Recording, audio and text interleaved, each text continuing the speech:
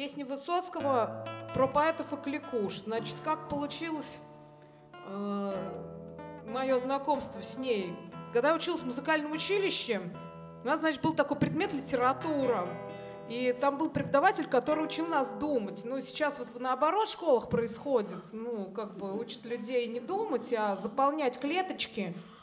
А, нас уже клеточки научили заполнять нотами, вот, а потом, значит, в училище нас учили на предмете литература думать. Ну, правда, некоторые так не научились, вот, некоторые забыли, как думать. И вот э, в программу наш преподаватель Рубинштейн Александр Ильич ввел Владимира Высоцкого. Он говорит, кто умеет играть на гитаре, приносите, ну, типа, я принесу гитару или свою приносите, и одна песня Высоцкого, зачет по этой теме. Э, значит, я нашла себя дома книгу Марины Влади «Владимир или прерванный полет», прочитала ее. Э, и еще мне мама, значит, выдала открытки э, со спектаклей Высоцкого. На той стороне были тексты песен. Я выбрала, значит, эту песню, но я не знала, что это песня. Э, и мама говорит, что мотив есть, но я не помню. Тогда интернета не было, и спросить было не у кого. Вот. И я решила ее просто прочитать тогда. Потом выяснилось уже, что эта песня, у нее есть слова. Вот, но тогда мне было 17 лет, мне казалось, что эта песня вот как раз про меня, что вот как раз вот надо, она на баррикады зовет. Сейчас, наверное, у меня аж так не получится. Кто кончил жизнь трагически, тот истинный поэт. А если в точный срок, то в полной мере. На цифре 26 один шагнул под пистолет. Другой же в петлю слазил в Англитере. А в 33 Христу он был поэт. Он говорил, да не убей, убьешь, везде найду, мол. Но гвозди ему в руки, чтоб чего не сотворил, чтоб не писал и чтобы меньше думал. С меня при цифре 37 в момент слетает хмель. Вот и сейчас, как холодом подуло. Под эту цифру Пушкин подгадал себе дуэль. И Маяковский лег, песком надуло. Задержимся на цифре 37. Коварен Бог! Ребром вопрос поставил. Или, или. На этом рубеже легли и Байрон, и Рэмбо, а нынешние как-то проскочили. Дуэль не состоялась. Или перенесена, а в 33 распяли, но не сильно. А 37 не кровь. Да что там кровь? Седина испачкала виски не так обильно. Слабо стреляться. В пятки, мол, давно ушла душа. Терпение, психопаты и кликуши. Поэты ходят пятками по лезвию ножа и режут в кровь свои босые души.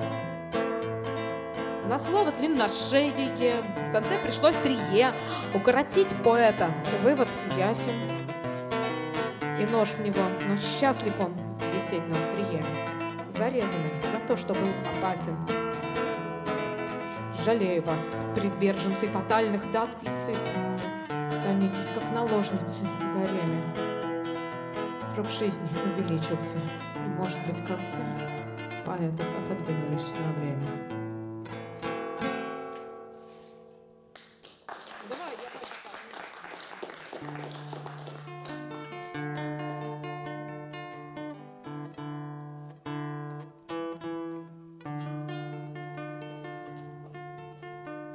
Я пойду по небу,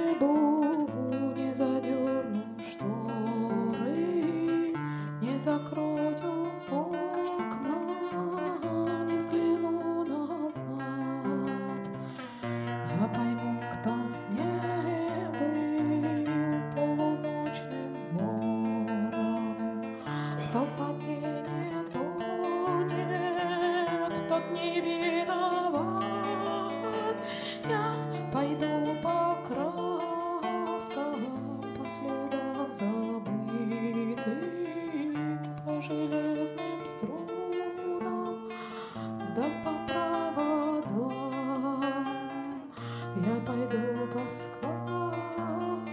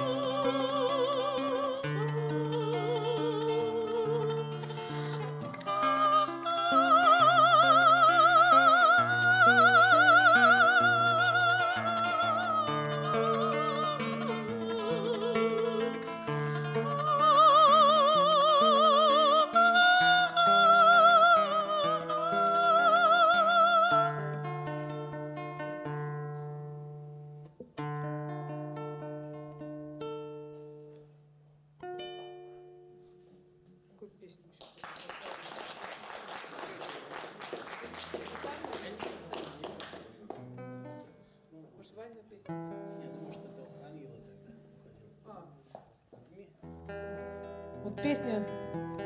Говорили, что кому-то песня приснилась, кому-то еще там.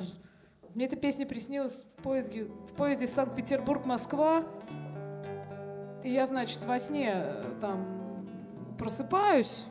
Думаю, сейчас я листочек возьму и запишу. Значит, записываю листочек, бе- беру листочек, записываю. Все нормально.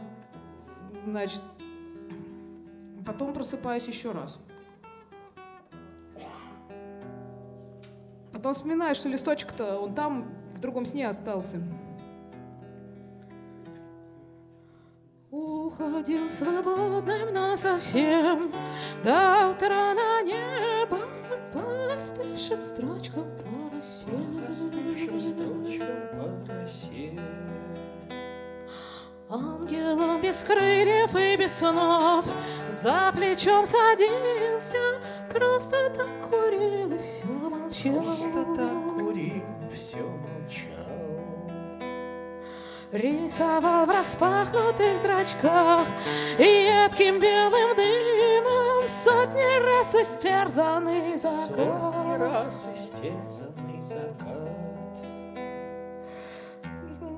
Окунался в пламя с головой И летели мимо Все слова дожди и города Слова дожди и города.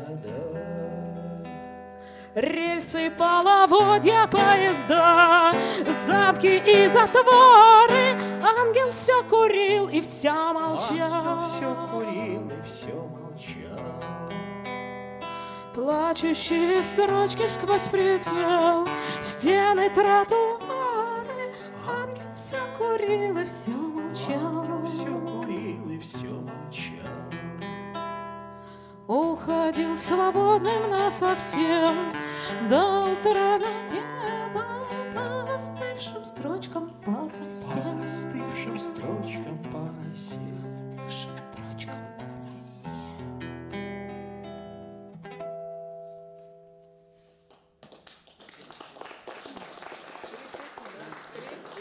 Можно еще?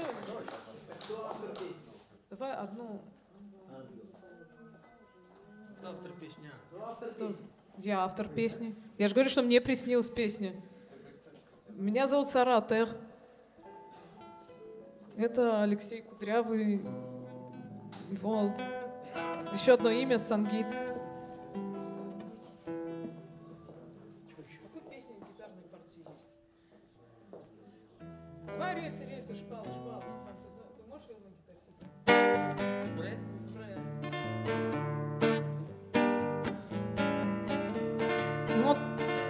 Тоже песню там, значит, припев там на некотором иностранном языке тоже так получилось, что совершенно случайно мне приснилась некая женщина, которая согревает ребенка. Не знаю, что с ней было до этого и после этого. Напевает такую песню.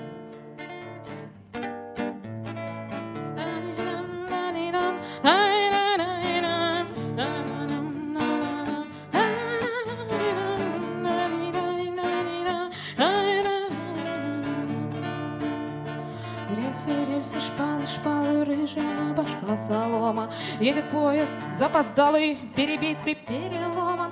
А меня зовет дорога, дорогая, сядем рядом, поглядим друг другу в очи. Что, страшно? Шлайфе,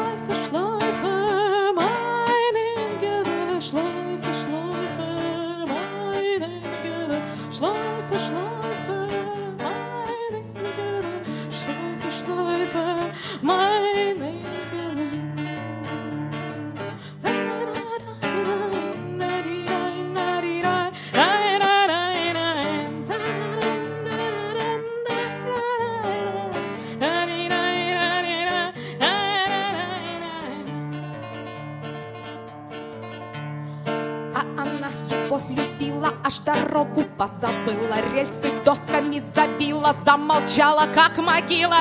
А ее рвала дорога, а его назад другая Долго ей кололи в очи. Он вас любит, между прочим. Она кричит, хохочет, он вас любит, между прочим. Знал бы прикуп, жил бы в Сочи, что? Страшно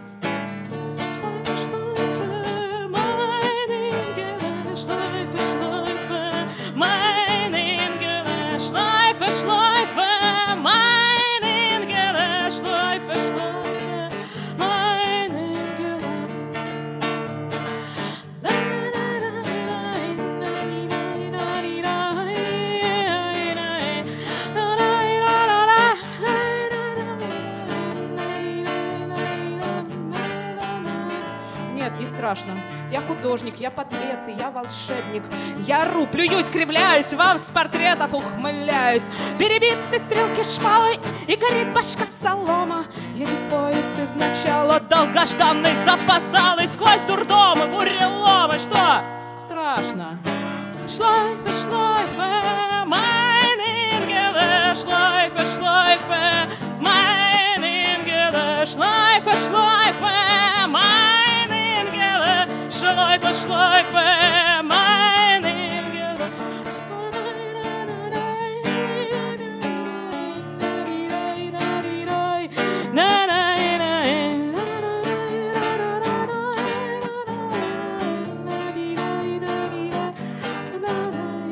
Нет, не страшно. Я художник, я дежурный по апрелю. Я танцую на канате, рыжие полосы сгорели. На притонах, на вокзалах поезд из начала, долгожданный, запоздалый, сквозь картонные вокзалы, сквозь дурдомы, сквозь причалы. И доедет, хоть ты тресни. Шлайфе,